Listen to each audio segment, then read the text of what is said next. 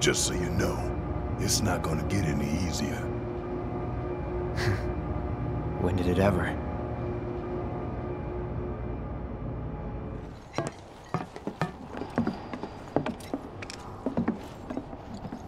Hmm. That there's the reactor support pillar.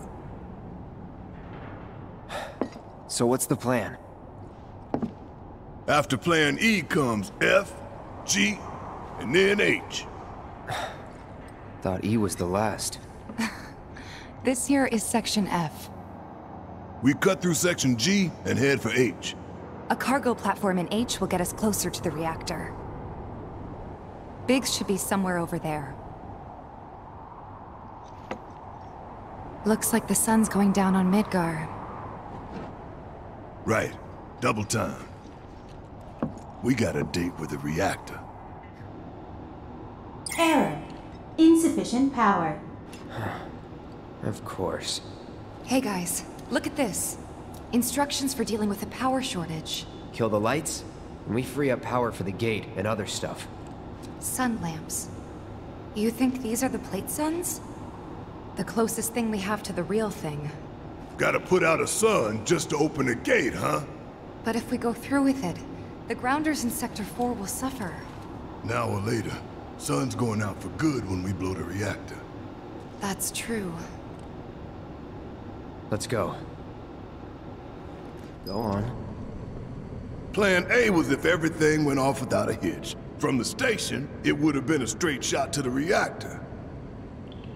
Didn't work out, but we knew going in we had to have alternatives. Backup plans, case we had to get off early. From closer in to further out, B, C, D, and so on. Up to what? To E. Lucky us. Yeah!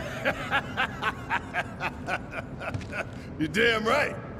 Anyway, we were riding the train between Sector 4 and the main pillar when we had to bail out. And we ended up on the adjacent line, which should take us to Reactor 5. That's right. So for now, we follow the tracks. That all you got?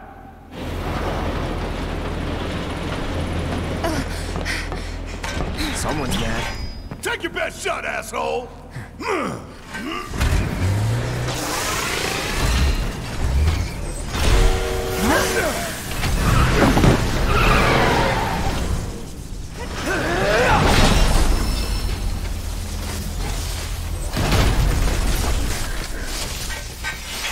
All clear.